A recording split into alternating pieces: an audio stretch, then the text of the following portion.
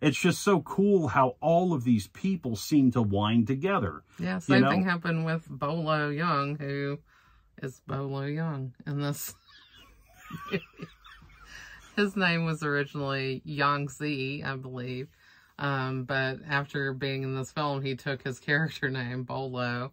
And we are mad fans of Bolo in this house. We Yes. love him. I get so excited when I see Bolo. Bolo is the inspiration for the video game character Abobo in the Double Dragon series. I liked Abobo in the Double Dragon series, and that was before I knew anything about Bolo Yeung. And then when I found out that Bolo Yeung, who is so awesome, is actually the model behind Abobo, you don't get better than that. You No. know, I mean, Bolo Yeung, like, I think my first exposure to him was seeing him fight uh, Jean Claude Van Damme. And Bloodsport. Yep, he was Yeah. in Bloodsport, and then he came back again in uh, Double Impact. Yeah. You know? I, I remember him from Bloodsport first, I think. Um, he makes a huge impression in that movie as well. He's awesome. Um, and this guy was just a, another different body type. He was actually more into bodybuilding, um, as well as martial arts, which he studied from a young age. Um, Bolo Yeung swam like two and a half miles from communist mainland China to Hong Kong to escape communism, apparently, when he was young.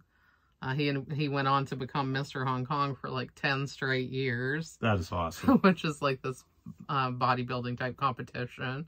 Um, because I mean, like, look at the dude. like, He is so nobody looks like that. no one's that big. He's enormous. He's just like a wall coming at you. Like when John Saxon is supposed to fight him, I'm like, all right, let me flick my suspension of disbelief switch on because there's no way I believe that Bolo is going to get his butt kicked by really anybody. Like it's not about John Saxon. It's about like, you know, Bolo is just huge. No, I, I mean, you know, there's a couple things there. John Saxon, also a black belt in karate. Yes. You know, he's in the film. You know, he's kicking ass. But I, I'm right with you. Bolo Yeung, I, I don't, I don't know. We've never seen, at least I've never seen a movie where Bolo is not the villain. And, yeah. and Well, so it's like he has to lose. And it's like, I like, okay, let's, let's make him the hero. If there is a movie that has Bolo as the hero, you know, let us know or we'll try to look for it because I, I want to see Bolo go the distance, you know, because it's I usually there- I think there is. oh, I need it. I need it's it. It's just not as popular because we just love the bad guy Bolo. Like he's so good at it. I mean, he's great He's at it in perfect. this. Like the first minute he's fighting somebody and then he like snaps their neck and he just looks like super psyched about it because he's like this gross kind of person and he's just so good at playing that. Like.